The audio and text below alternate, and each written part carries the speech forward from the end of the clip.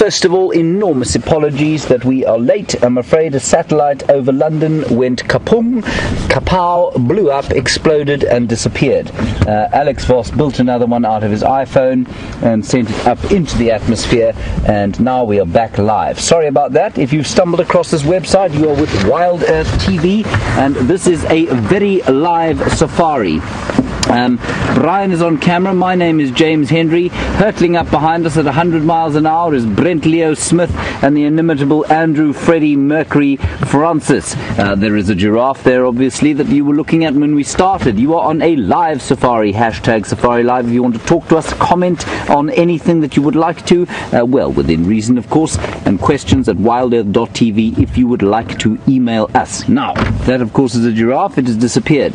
We are heading up towards a lion pride that was last seen uh, just north of us. We saw it this morning. Brent found it again this afternoon. Um, I'm just going to consult with him quickly. Uh, he certainly has dibs on it, but I'm not sure he's going to get any signal there. I was coming to the giraffe and I Right, I see. Okay, but I don't think Brent's going to get any signal there. He is on the Wendy, and we're a little bit uh, techno, um, shall we say, techno poor today. So we're going to head to the Lions. Brent is going to drive around here in a small circle, and we'll join him a little bit later. Okay, here we go. Sorry once again for our lateness. Um, in the final control, in case you are concerned, and you should be, is Tara Dales on the second director's chair, and the first director's chair, Louise Pavitt, recently arrived from Johannesburg. Here we go. Eugene is, of course, is running about trying to fix bits and pieces of what's going on, but uh, we'll see what happens now. So those lions this morning, in case you have you didn't join us, those lions killed two more buffalo calves last night. So that brings to the total to about 13 buffalo killed in the last eight days. That is a substantial hit to the buffalo population and certainly a bit of a boon to the lion population which have been feeding uh, thoroughly over the last little while. And in case you've missed the last few days, what is interesting is that there are three lion prides around this area in the heart of the Nkuhuma Pride territory. Uh, ne- none of those prides, not one of them, is the actual Nkuhuma Pride whose territory this is. So we think that they are probably off in the Kruger National Park. We're not sure why they're in the Kruger National Park. Probably something to do with the Birmingham males, um, possibly trying to, uh, who knows, possibly there's some food there. But I think also the other reason that the other lions are here is that the water is now very concentrated. We've had a bit of a rainy day, uh, not hugely productive from a rain point of view, lots of lightning. In fact, Brian and I were nearly struck just before we were supposed to go live at 4 o'clock. Uh, we said some bad words and then ran for cover. But so there isn't a lot of water around, and that that there is is concentrated in these dams, and so the buffalo are moving in a very predictable fashion. And what that means is that they're pretty easy to kill for lions that have know how to kill. Anyway, that's the general idea of what's going on with the lions. Once again, big apology that we are late today. Uh, nothing we can do, I'm afraid. I'm not sure what happened to the satellite, uh, but we are making our way to the lions, and we'll see what we can find from that end. Please remember, talk to us. We do love to hear from you, especially if you're a new viewer. And we've had lots of interaction with a few new viewers in the last few days, and uh, that's not to say we don't want to hear from our regulars very good to hear from some newer viewers as well. Tell us what your name is and where you're from, and we'll answer your questions if they are um, answerable, of course.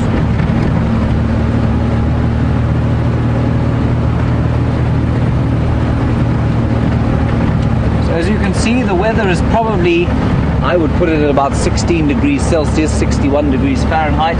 It's, a, it's blustery, there's wind blowing from all directions, there's thunder around the place, and there's certainly a, um, a feeling that we might be dumped upon by these clouds at any stage. But this is kind of early summer frontal weather, and it often doesn't bring rain.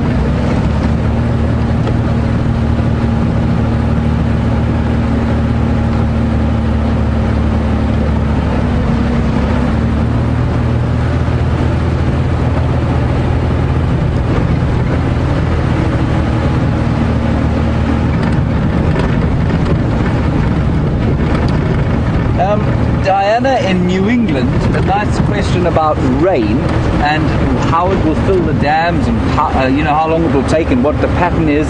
Diane, finding a pattern for any kind of African rainfall, unless you're sitting directly over the equator, is very difficult. So here, it's very irregular. But generally, the big rain uh, comes with storms that come out of the northwest or the northeast, either from a cyclone that comes off Mozambique or uh, from a storm that comes off the mountains. This sort of weather often just produces soft soaking rain, uh, but it's difficult to predict what's going to happen when. Most of the big rain, the most of the volume of rain that we get will come come in, come in over the mountains or that come in off cyclone systems uh, hit the coast of Mozambique. Um, how long it will take for Gowrie Dam to get full is very difficult to say. I suspect, um, I mean, we had 36 mils earlier this year, and it certainly made a huge difference. It went from completely dry to a pretty good sized pad. So I think once we've had 100 millimeters of rain or so, or um, 150, which is about uh, six inches of rain, you'll find that that waterhole dam is, is almost half full. Now, we're going through a slightly dodgy signal area here. If you do lose us, please be patient. It's not because the second satellite has exploded. Um, we will be back with you as soon as we hit the cut line. So I'm not going to talk too much as I go through this particular area.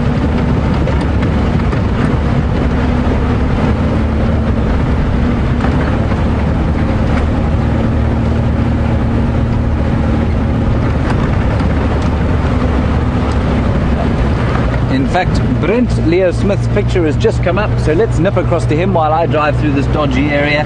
Uh, let's see what he has to tell you, and he'll give you an update on where he is, and I'll see you hopefully with the Lions.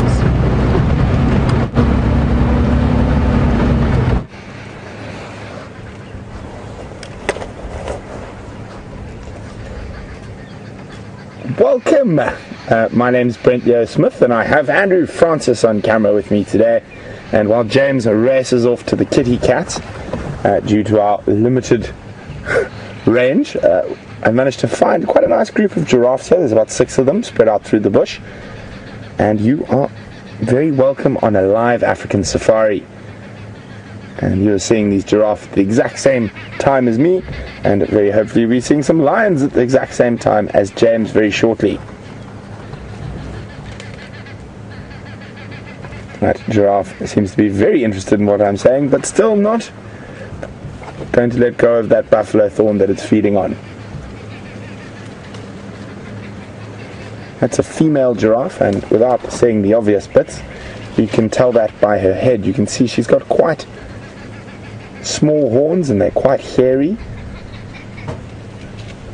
Uh, a male would have a far more robust set and also some scar tissue and bumps up on his forehead from fighting. Also, possibly quite a lot taller than her.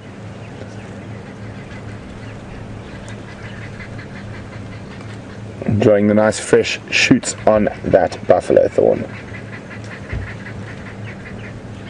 And you can just see under her neck there's another giraffe. You just pick a tiny bit of movement underneath. There we go, Andrew's focusing. There's another giraffe there. Oh, there's the head pop up and that looks like a young male. And you can see already the top of the horns. Does not have any hair on it.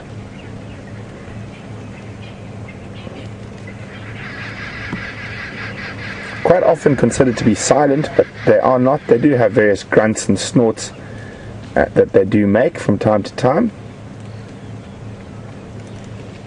But on average a very very silent animal compared to the rest of the animals out here in the African bush.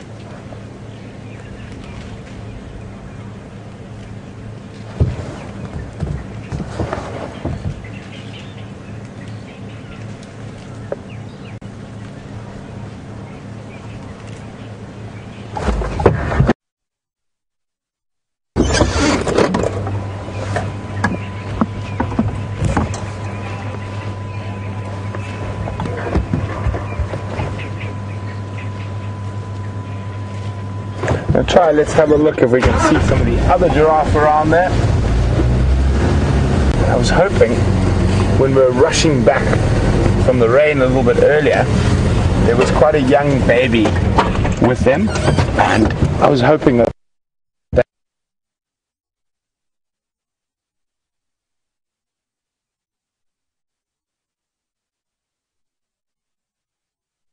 That baby was going to be visible here, and with this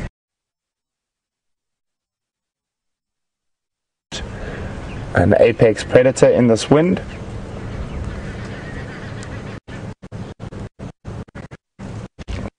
Gusting around, so it makes. He's also on the move now.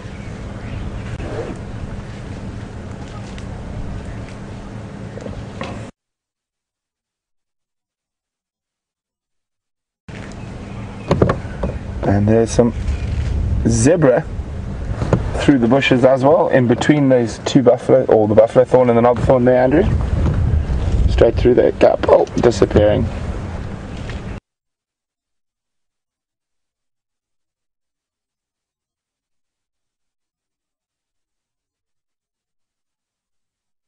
Males, their foreheads will be really, really battle scarred, and they'll have quite a big.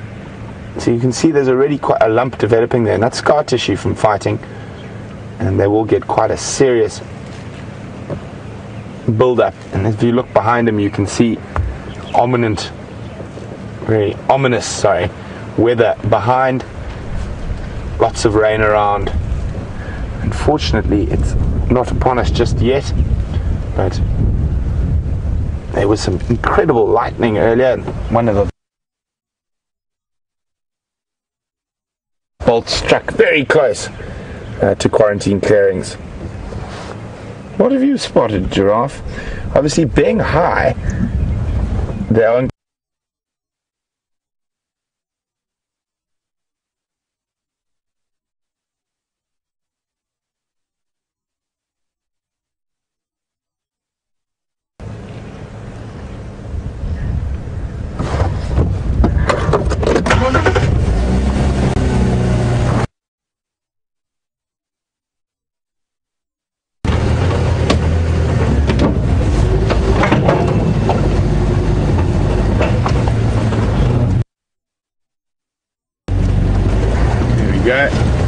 needle our way between the trees.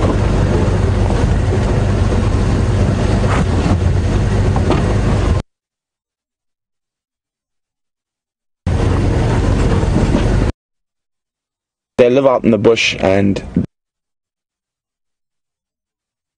loud noises from a very young age and take it as part of parcel of life. I've never seen them react negatively to thunder before.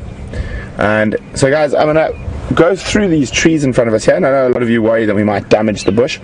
We're very particular about which trees we drive over and also how we drive over trees. So we straddle them with the middle of the vehicle and a lot of the tree species here will just pop up and just remember almost all of these trees get fed on by elephants regularly and they'll carry on growing even after they've been broken by elephants so us just moving over them quickly uh, doesn't really do any harm to them and we avoid all very slow growing trees. So like tamboti trees or African ebonies uh, things like that. Uh, but fast growing trees like acacias and terminalias which are in front of us those us no problem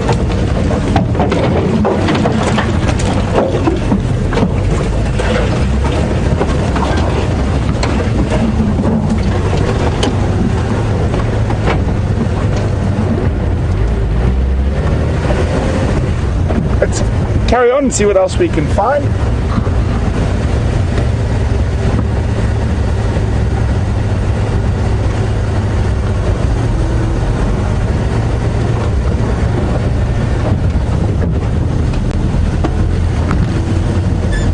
Wonder if this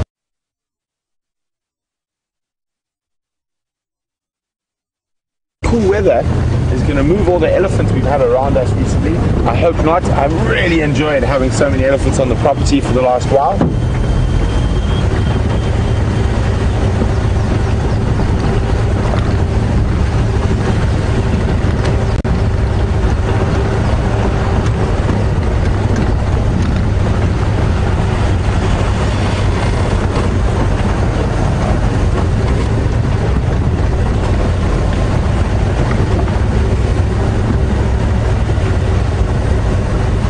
Subject of elephants. Uh, Blair, who's in British Columbia in the Great White North, was wondering, she said she saw an elephant standing on top of a termite mound. Must been with James this morning on the sunrise safari. And she's wondering, and she said she's heard they could be like cement. And if it can hold a six ton elephant, how do animals like aardvarks, ant bears, hyenas, warthogs, etc., dig into those termite mounds? So, well, they're very, very. Um, uh, well, the one who actually does all the digging is the aardvark. The others just excavate afterwards. They've got incredibly specialized, huge frontal claws that enable them to dig through that hard stuff and break up that substrate.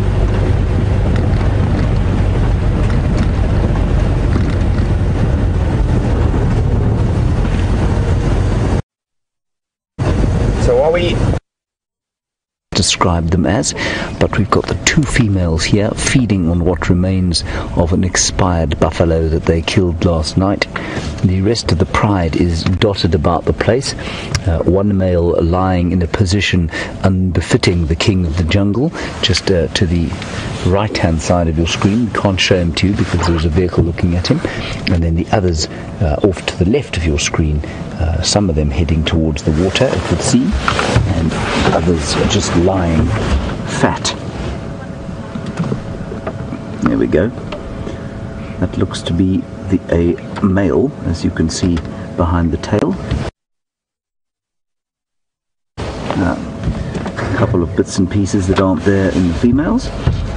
And there's another female just behind there. There's a bush in the way, you won't be able to see her. You might just catch a glimpse of her as Brian zooms out on the right hand side of the screen. She is there. You can see a little bit of slightly discoloured soil. There we go. Brian's got her. That's her there. Okay, so that's the six of them. Three young males, three females, and the most, the oldest one, the most mature, and not the dominant one. We had lots of questions this morning about dominance in lion prides, and remember that there's no real dominance hierarchy. It's based purely on size. That female, I think, is the oldest in the pride, and quite nice, quite interesting. Her mother uh, also had a tail missing which of course is quite odd. They both have succumbed, possibly to hyenas biting them off, possibly to ticks getting in there and biting them off. Uh, it's difficult to say how. This is um, a pride called Tsalala Pride, and for those of you who haven't been watching, the core of their territory is in fact way south of here, mostly around a farm called Marthly, which is part of the world famous Londolozi Game Reserve. And that's normally where they hang out. So why they're this far north, uh, it's difficult to say. Uh, I suspect that it is the movement of buffalo that has moved them up here, and also the absence of the owners of this territory, the Nkuhuma Pride, who have absconded into the Kruger National Park to the east of us. Quite a sight that.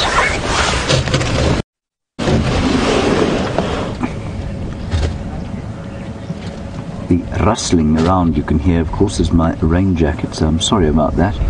Um, but not much I can do if the deluge does begin. Um, I will need to be covered up. Wouldn't do to have me getting wet. Oh, wonderful, Andrew. That's a great picture. I'm Brian. Well done.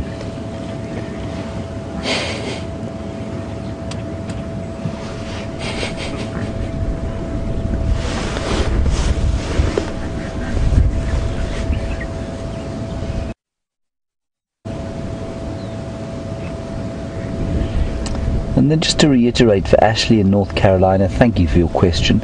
Um, you want to know why it is that the three prides that are around here now have not been chased out of the Nkuhuma Pride's territory. And the simple fact of the matter is that the Nkuhuma Pride is simply not here to chase them out. They've run into the Kruger. We don't know why. I think it's probably got quite a lot to do with the Birmingham boys, five young male lions who've recently come into the area created a huge amount of upheaval.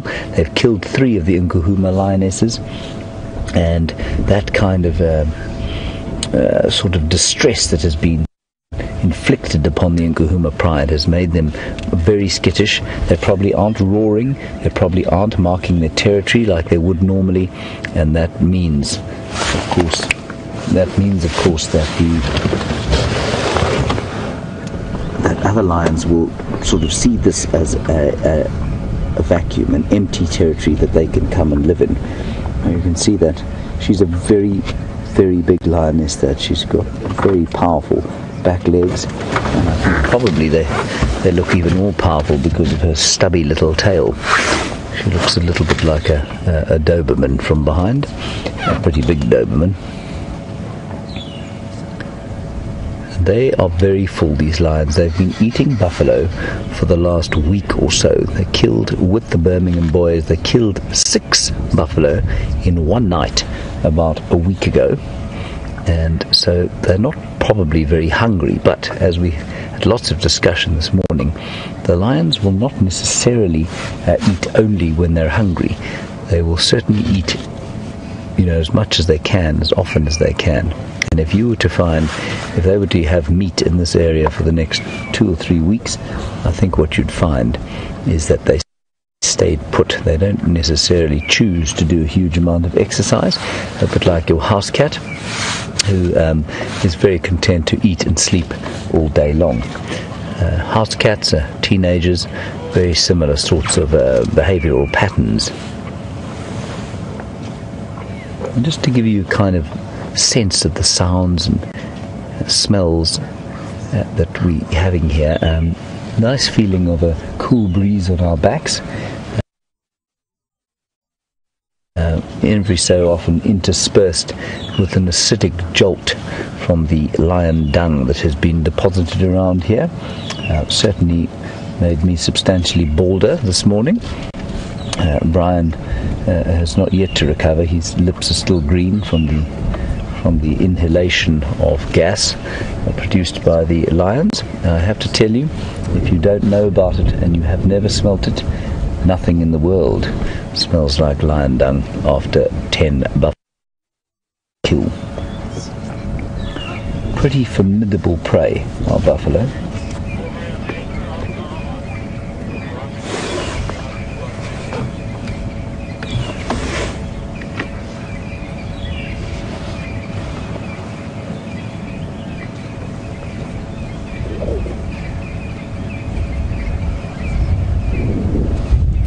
An interesting comment from Bob G, and it's a good one. You say they arrived a few weeks ago looking stressed and injured, and they seem to have recovered, and they're a lot more. You say they're pretty adaptable. They are indeed very adaptable. They also will um, suffer the slings and arrows of outrageous fortune, if you like. I'm not sure if that's a correct use of Shakespearean English, but what it means in this particular context, I'm not sure this is how Hamlet meant it. But um, what it means is that when times are good, they're going to make hay while the sun shines. I'm mixing metaphors horribly here, but that's basically basically if there is food to eat, they will eat it because they will go through those tough times. Uh, so a little while back, they were injured, they were hungry, they had nothing to eat, they were probably on the run, possibly from the Birmingham boys, possibly from those Matimbas who've been thrown out of this area by the Birmingham boys, um, and they came up here, and now suddenly they've got so much to eat, they're not going to turn that opportunity down, they're going to eat themselves into a stupor for as long as they can, because there's no question at some stage they will come across, come upon hard times again looking to see where that vehicle's going in case we're in the way, which we are not. So let's just, we'll just drive a little bit around the corner here and have a look-see at these other two. And we can, we can put a light on them, they're adult lionesses.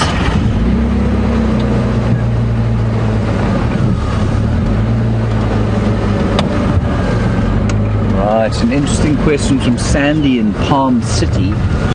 Thank you, Sandy. Sandy, there are two aspects to your question that we must address. First of all, you want to know who is the male coalition that used to protect this pride. Um, a big key thing of what you've asked there is that male coalitions do not necessarily offer protection. What they offer is a little bit in the way of security, but they certainly don't defend the pride against other marauding males. So if males do come into an area, um, if they are in, so if they're in a male's territory, um, to say that they protect them uh, implies that they have some kind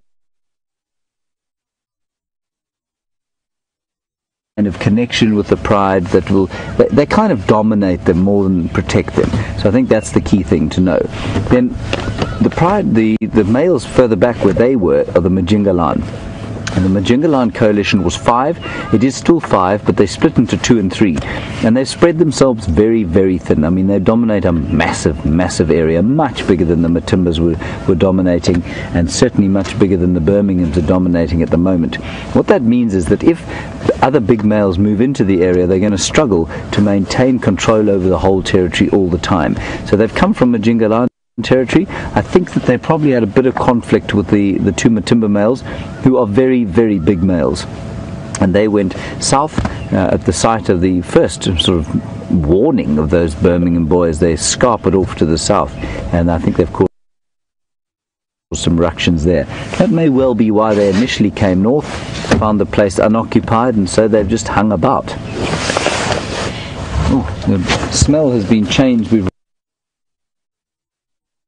run over some Ocimum species or wild aniseed and that has very nicely uh, naturally freshened the air about us. Whew, what a, what a relief.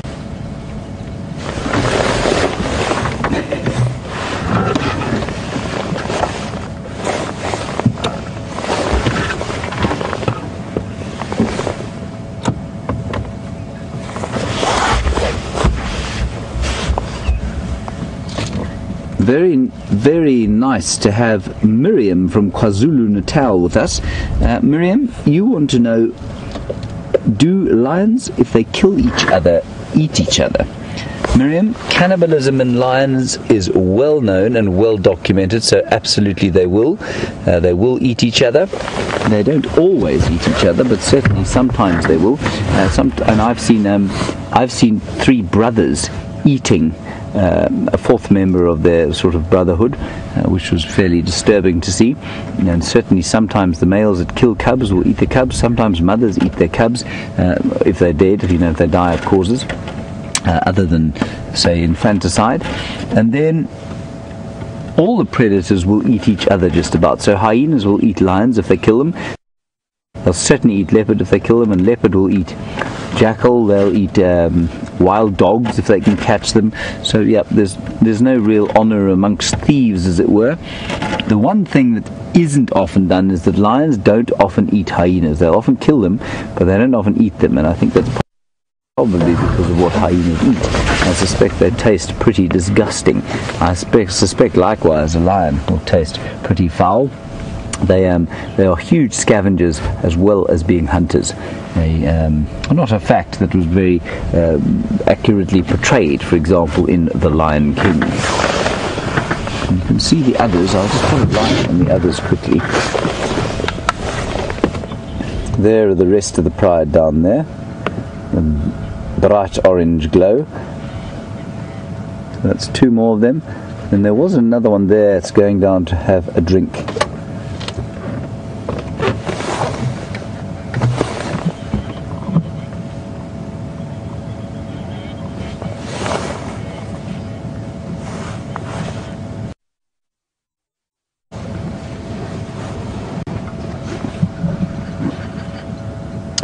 Another brilliant question, and I must say I'm constantly astonished by the number and quality of great questions that we do get. Um, Doug in Connecticut, you want to know surely the Birmingham boys, if they came into contact with the Tsalala Pride, would um, adversely affect the three young males here. They'd probably chase them out or kill them or something like that. Um, Doug, these three young males are are so innocuous at the moment. They're all they're hardly the size of their mothers yet. Um, and so, no, the Birmingham, they'd, they'd, be seen as part of the pride. They're almost all, you know, they're sub-adults.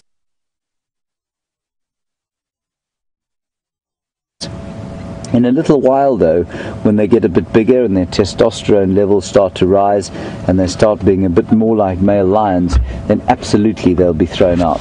They'll be definitely chased away by the Birmingham boys. So there's one of them there, and you can see that his mane is very scraggly. It is, uh, well, it's like that kind of wispy teenage mane young boys get. A very unattractive time of life, certainly was for me. Um, and I think the lions are very much the prey before it dies, and so they might get kicked. That's very common.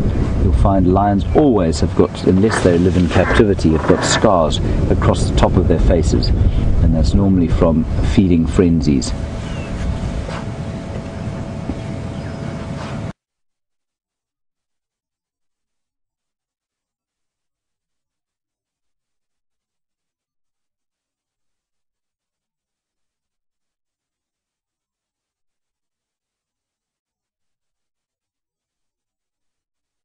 Almost five years old probably.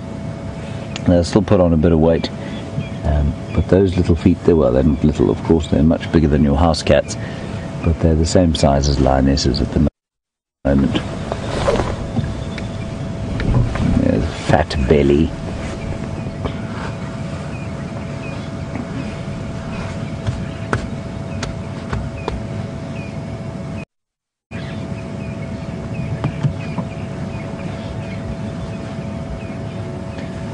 So a very interesting one again from Susie. Thank you, Susie. Um, you want to know how on earth did they kill the calf when, or did they fight off the rest of the herd? Because you've obviously seen this before.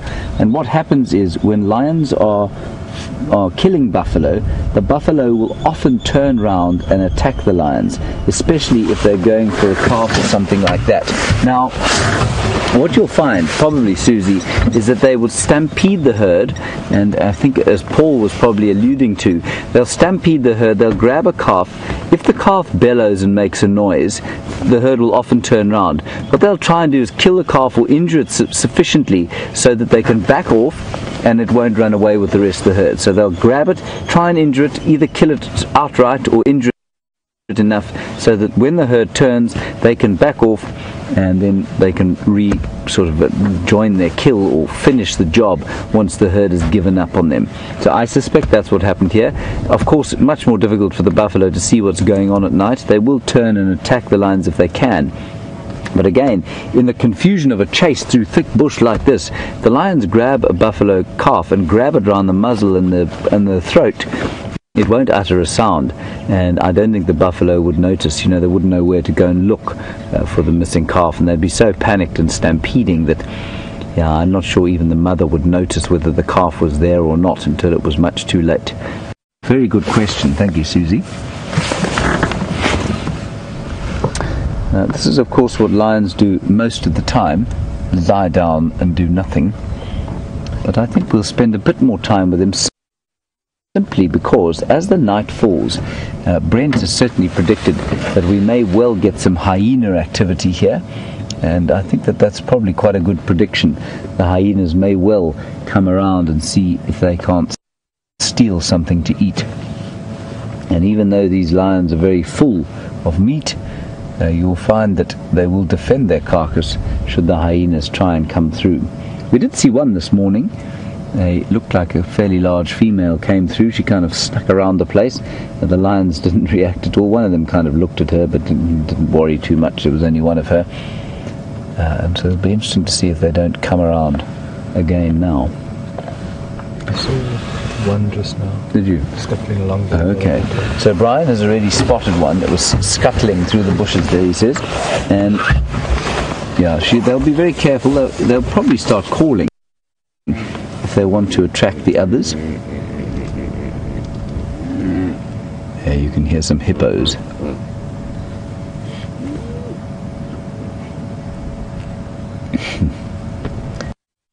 Otherwise, all is pretty quiet here.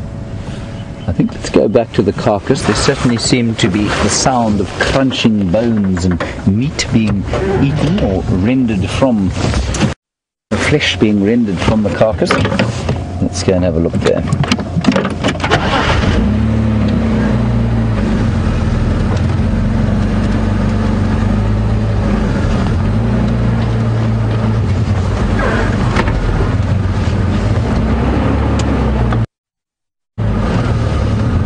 Nice question from Paul on Twitter, who's paying attention, clearly.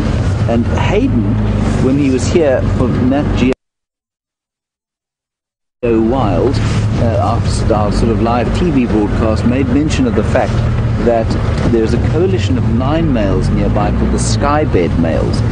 Um, and Paul, you want to know, have I heard anything further about them? Uh, Paul, I haven't, but I do know that they're around. I haven't heard of them for a couple of months now, um, and I don't. I think to say that they were heading south would be difficult uh, to, you know. I'm not sure that they're necessarily heading south as we speak, but they are in the north in the Manyeleti, and so they could go north, but they they may well come this way. It will depend very much on what the line dynamics are. I think. I've seen a picture of them. I think they're about two and a half years old, so they're not um, they're not very big yet. But a coalition of nine male lions will create a major problem here. Um, certainly, they'll they'll tear the place apart if they come in here as four and a half or five year old males like those Birminghams. They'll definitely split up eventually, um, in probably into groups of two and three, maybe maybe up to four, depending on the area and depending on the concentration of other male lions. Uh, but nine male lions would be a, a really formidable force. So this female, despite the fact that she's extremely full, is continuing to uh, fill herself with buffalo meat. Just a few drops of rain starting to fall. Nothing major though. And mercifully, no more lightning. See if you can hear her chewing.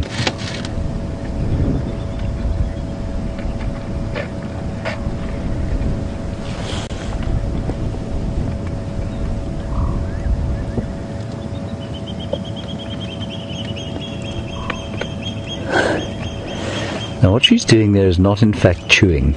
She's got very uh, specially adapted molars. So, if you run your tongue around your teeth, around the molars and the molars of the back teeth, yours are very flat. Unless you're very odd, uh, you have got flat molars at the back. Now, she, if you've got a house cat or a dog nearby, grab it, uh, put it on your lap, and open its mouth. Uh, don't get bitten, of course but uh, see if you can peel back its lips and have a look at the molar teeth. Now, those molar teeth in any of these predators, uh, like your dog or your cat, um, are called carnassials, and you can see that they're quite sharply ridged. They're like little knives. And what they do is when they close over each other, you can now, if you've got a particularly compliant dog or cat, open and shut its jaws and watch how the teeth at the back close over each other.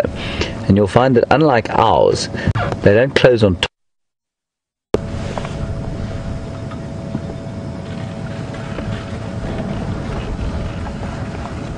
Good grief. Just shine there. You can see the big female is not running away. She's going to look what's happening. This is very interesting.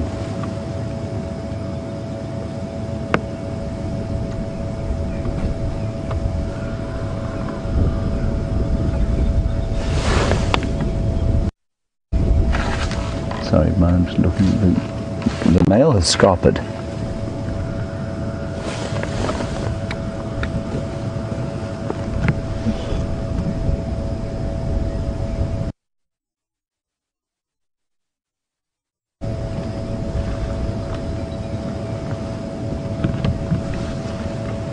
Gee whiz, Brian.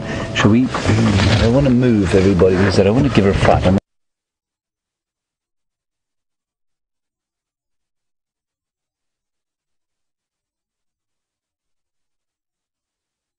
going to follow her now, though.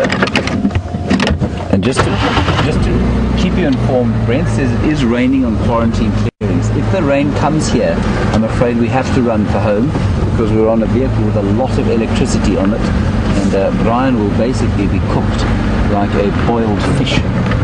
Yeah. One, two, three. What is he running from? Wonder what he saw.